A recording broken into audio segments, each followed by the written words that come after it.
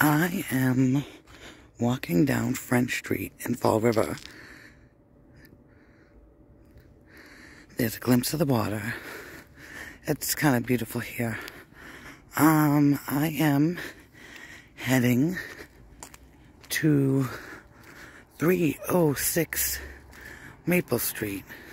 I mean, 306 French Street to see where Lizzie Borden spent her life after the murders.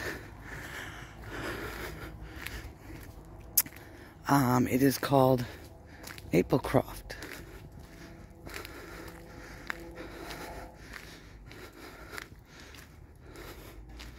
Oh, wow. It's right in front of me. It kind of gives vibes.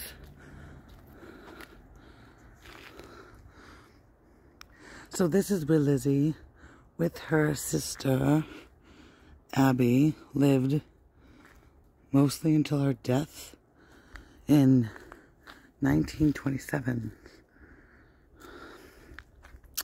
It is currently up for sale. But someone may be in there because I hear a few noises. It's actually really beautiful. I love this corner. I don't know what it is about it, but it's just beautiful. Um, people who have investigated the home say that it is very haunted. Um, which means that the spirit of Lizzie Borden could still be here.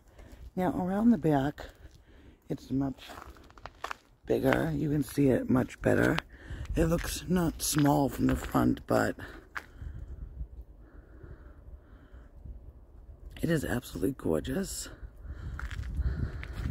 I love the porch.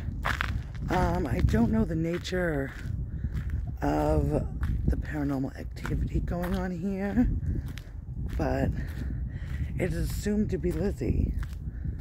I know a picture of her hangs in the master bedroom. And as you can see here, it's not recommended you try to get in. They're filming you, security cameras in use.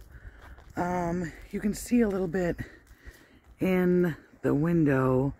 They have some pictures and plaques hanging. Um, so this is where Lizzie Borden lived until she died in 1927.